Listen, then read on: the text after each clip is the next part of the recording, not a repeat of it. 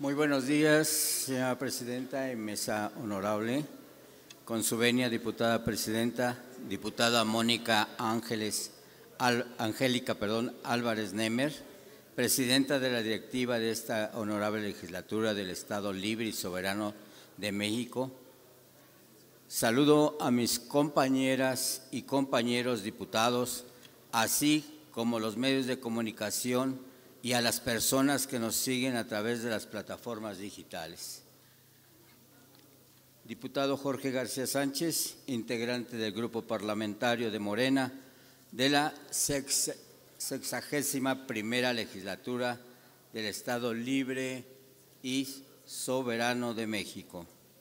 Con fundamento en lo dispuesto en los artículos 51, fracción 2, 57 y 61, fracción primera de la Constitución Política del Estado Libre y Soberano de México,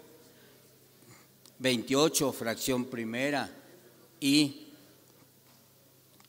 perdón,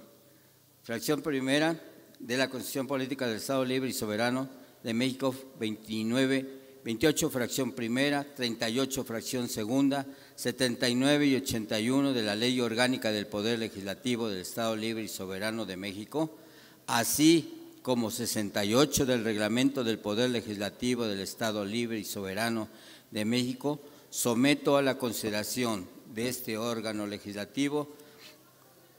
la siguiente iniciativa con proyecto de decreto por el que se derogan el capítulo sexto y los artículos 126 y 127 del libro segundo título primero, denominado Delitos contra el Estado. Subtítulo de segundo, denominado Delitos contra la Administración Pública del Código Penal del Estado de México, correspondientes al delito de ultrajes, con sustento en lo siguiente. Exposición de motivos. En un Estado donde la inconformidad expresada por su sociedad en contra del actuar de las autoridades y las instituciones es tipificada como delito, se evidencia la existencia de un Estado opresor, su poca tolerancia y la muy probable posibilidad de callar con el uso de la ley la voz de quienes hacen públicas las anomalías de un sistema, expresiones que suelen ser legítimas.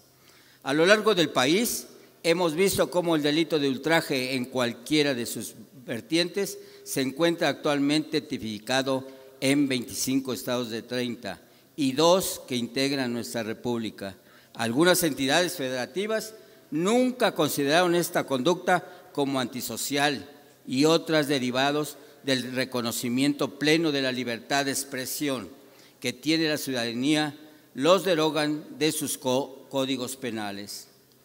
Existe un umbral legítimo de queja en contra de la persona servidora pública y de las instituciones que se limitan a hacer referencia al mal servicio público prestado y que no trasciende a la esfera particular de los mismos, ya que de lo contrario se estaría en la posibilidad de otro delito, umbral que permite a las y los usuarios de servicios públicos manifestar sus quejas y visibilizar las anomalías del sistema. En nuestra entidad, el artículo 126 del Código Penal del Estado de México describe el tipo penal del delito de ultraje como toda expresión directa o indirecta o toda acción ejecutada contra algún servidor público, estatal o municipal, o contra instituciones públicas que pueden implicar ofensa o desprecio. Y no es el desprecio y la ofensa una forma de expresión del sentir de las y los ciudadanos que no encuentran una solución a sus peticiones o que de alguna manera sienten que el sistema les falta. Y no es la expresión una forma de libertad consagrada en nuestra Constitución Política de los Estados Unidos Mexicanos, en las que encontramos el reconocimiento de este derecho en su artículo primero y en la Constitución Política del Estado Libre y Soberano de México en su artículo quinto, máximos ordenamientos que establecen para todas las personas la protección más amplia de sus derechos humanos, los cuales no pueden restringirse ni suspenderse con fundamento en la Constitución Federal. De igual forma, los artículos sexto y séptimo de la Constitución Federal y el artículo quinto de la Constitución local protegen la manifestación de las ideas y la libertad de su difusión, siendo un derecho de las personas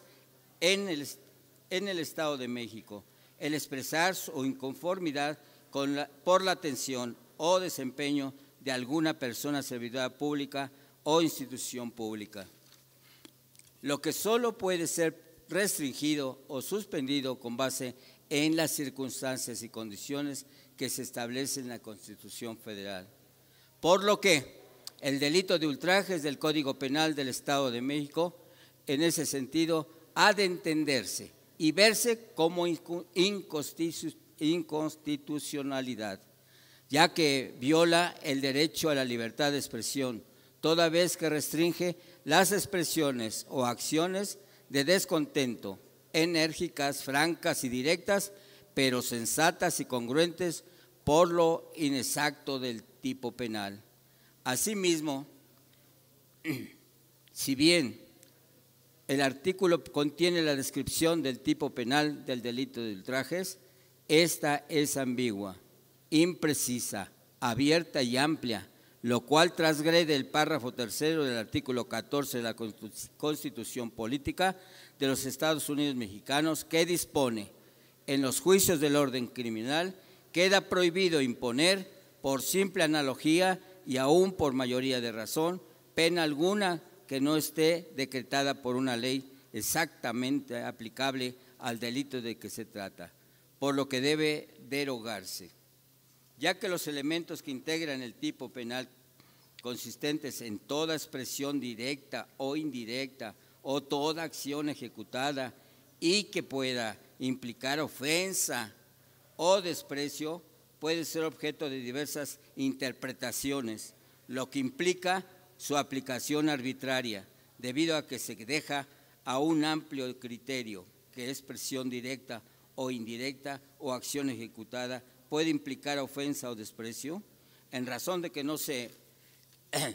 se señalan qué palabras o qué conductas están prohibidas, porque contienen, ¿por qué contienen una ofensa o desprecio?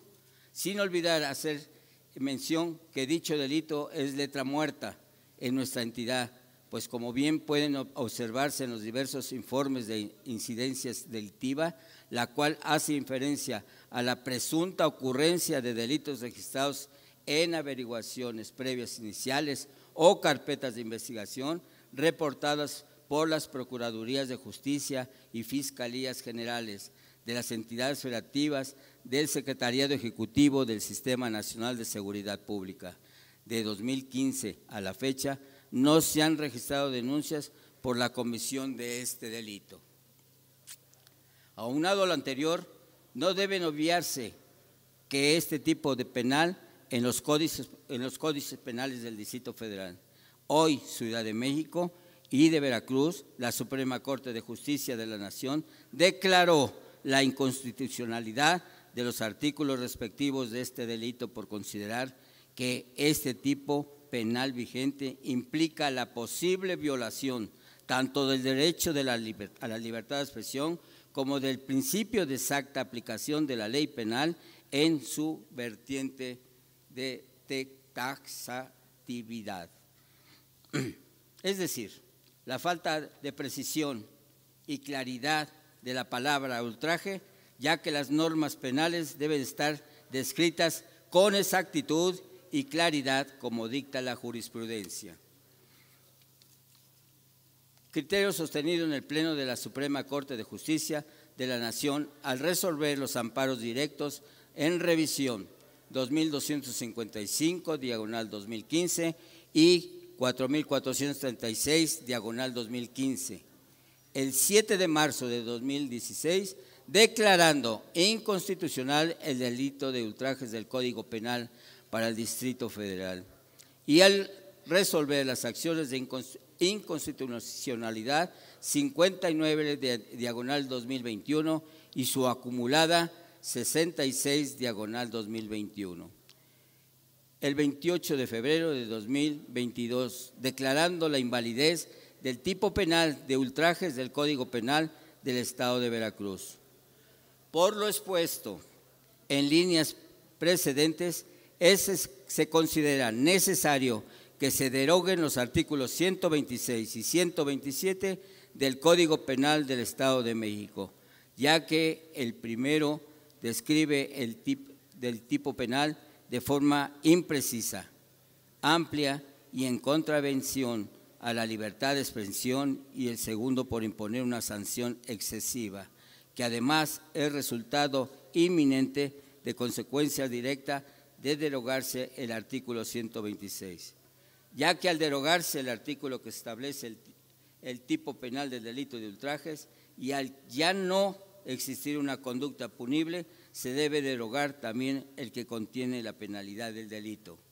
Atentamente, un servidor, Jorge García Sánchez, del Grupo Parlamentario de Morena, solicitando se anexe la presente iniciativa de manera íntegra a la Gaceta Parlamentaria y al Diario de Debates. Es cuanto, señora Presidenta, es cuanto. Gracias, gracias. diputado Jorge.